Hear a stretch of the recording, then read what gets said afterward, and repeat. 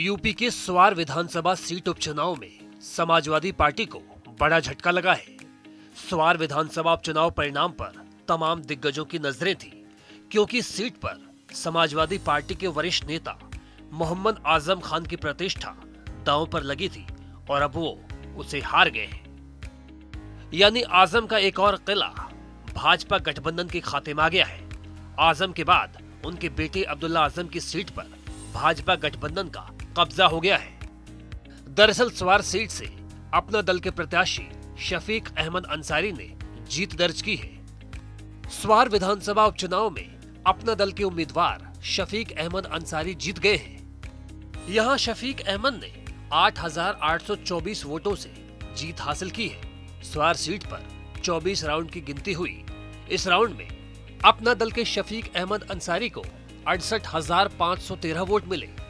जबकि सपा प्रत्याशी अनुराधा चौहान को उनसठ हज़ार छह सौ नवासी मत ही मिले। यानी इस बात को कहना गलत नहीं होगा कि उपचुनाव में सपा को बड़ा झटका लगा है। आज़म खां के हाथ से स्वार सीट आखिरकार निकल गई है। यहाँ शफीक अहमद अंसारी ने 8,824 वोटों से जीत दर्ज की है।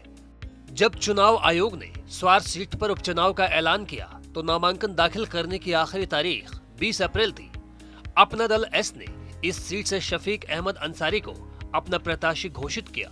शफीक अंसारी स्वार नगर पालिका के अध्यक्ष भी रह चुके हैं। उनकी पत्नी रेशमा परवीन अंसारी स्वार की निवर्तमान पालिका अध्यक्ष है।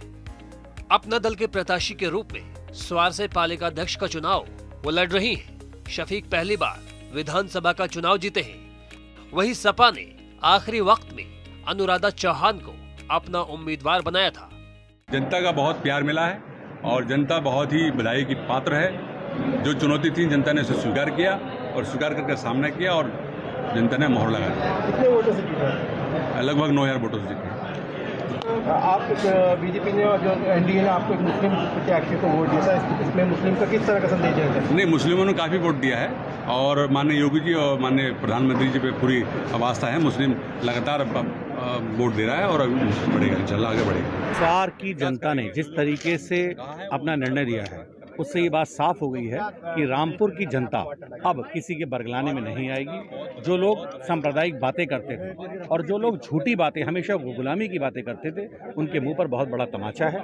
इसलिए यहाँ की जनता को बहुत बहुत बधाई। मुस्लिम कैंडिडेट उतारा गया था मुस्लिम कैंडिडेट जीती गई इसको किस तरीके देखिए पसमानदा समाज मुस्लिम के लिए क्या देखिए सबसे बड़ा संदेश बस यही है कि आज जब योगी जी और मोदी जी की जो कल्याणकारी योजनाएँ हैं उन योजनाओं में ये कहीं नहीं है कि ये हिंदू के लिए या मुसलमान के लिए भारतीय जनता पार्टी ने कभी किसी के बीच में कोई गैप नहीं समझा। इसी वजह रही आज जो स्वाट स्वाटांडा विधानसभा की जनता ने उसमें एक तरफा अपना फैसला लिया। चौंतीस वार विधानसभा में छह प्रत्याशी उम्मीदवार थे। उनको आज रिज़ल्ट अनाउंस किया गया है। उसमें सफ़ीक अहमद अंसारी जी को विजयश्री प्राप्त हुई है। उनको अड़सठ हज़ार छः सौ तीस मत प्राप्त हुए हैं। जो कि अपने निकटतम प्रतिद्वंदी अनुराधा चौहान जी से आठ हज़ार सात सौ चौबीस मत ज़्यादा है। आपको बता दें कि मुरादाबाद की कोर्ट झजलेट प्रकरण में दो साल कैद की सजा मिलने के बाद सपा नेता आज़म खान के बेटे अब्दुल्ला आज़म की विधायकी रद्द हो गई थी, जिसके बाद स्वार विधानसभा की सीट खाली हो गई थी। इसके बाद उपचुनाव कराने का ऐलान चुनाव आयोग की ओर से किया गया। Bureau report, PTC news, Uttar Pradesh.